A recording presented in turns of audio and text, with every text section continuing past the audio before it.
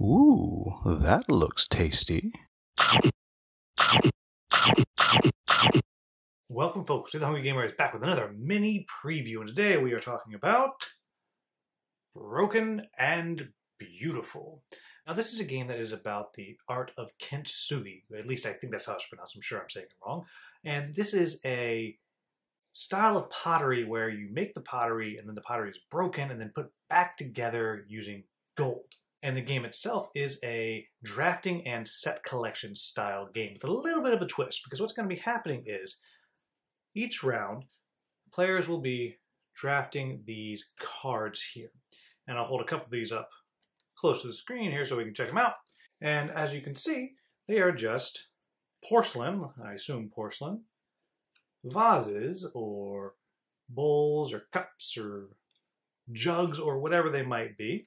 And each one, what's important is, is that each one has a different scoring condition. As I said, it is set collection. For example, you if you are able to collect both a cup and a saucer, then you will get one point for each cup and you'll multiply it by two for having a saucer to go on it. Now, simple enough, you're just collecting various bits of pottery and having a nice lovely little tea set. However, after you draft things, you have a choice. You can either take it and put it into your collection, or you can turn it in for a certain amount of gold, which you will see down here on the bottom corner. Then, after everybody has drafted two cards, there will be one card left on top of the draw stack, and then there'll be one card that was not drafted. All the cards around the table of this type then break, which means you just turn them sideways in front of you. Now, this is an opportunity for you to make more points, because at the end of the round, you're able to pay the gold that I mentioned earlier to repair them and turn them over, as you can see right there, and they're worth more points. And you can see it has the pretty little gold bits that are you're putting it back together. And you're going to play until you can't deal up two cards per player plus one more. And then at the end of the game, you're going to score up who is the winner.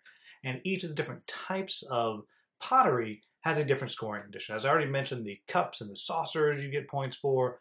There are vases, in which case it's you're looking for sets of three. There are the tea jugs, and whoever has the most gets six points, and so on and so on and so on. A whole bunch of different things. But for each one that you have managed to repair to this side right here is going to get you more points. And how many more points is going to vary on card to card to card, depending on what it is that you are repairing. Now, that's really it. It's actually a very quick, very simple game. So, what do I like about this game? Well, the first thing is I like that it's very quick and very simple. You can very easily throw this down and you can play. It does not take up a lot of space whatsoever. I also appreciate it is very, very simple to learn the game. Again, it's just just a few rules that you're playing. But what I think makes it work as far as set collection games go of this ilk, and again, I don't use the word ilk as a pejorative. I know some people think it is. I don't think it is. But set collection games of this ilk is two things. One, every round's a snake draft. So you're going to, so there's a little bit of a strategy in how you're drafting right there.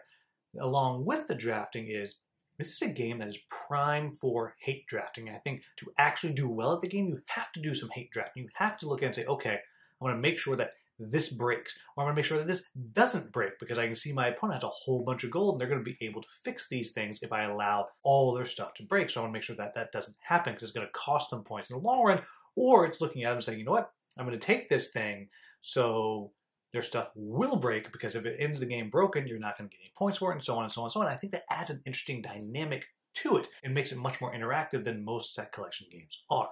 But clearly, the best part of the game is the fixing of it. I think that is just a super clever bit of strategy to the game because yes, some stuff is going to break, but you can determine sometimes what is going to be the thing that breaks to kind of help yourself out. But it is a little bit of a push your luck there because if something's just broken, it's worth zero points. But if you can get it fixed and you have the gold and you've managed your resources to have that gold, then it's worth even more points. And I think that is actually very, very clever. So what are my quibbles about the game?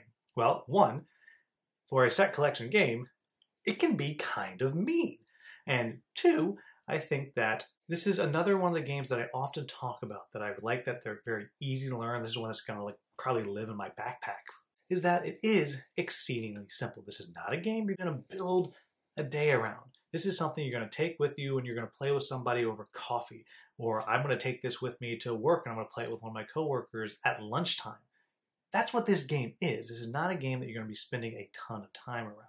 But really, that's it. That is Broken and Beautiful. I think this is a very clever little game. And actually, it is much more fun than I thought it was going to be when I said yes that I would look at it. And for me, that is just delightful. I think if you're somebody that really enjoys set collection games, then this is one that you cannot go wrong with. Well, you almost can't go wrong with because it can get a little bit mean, but I think this is a game that should be in the collection of anybody that's a fan of card-based set collection games. So there you have it, folks. That is Broken and Beautiful. As always, if you found this video useful, please like, subscribe, and share. Thank you so much for watching. Have a wonderful, wonderful day.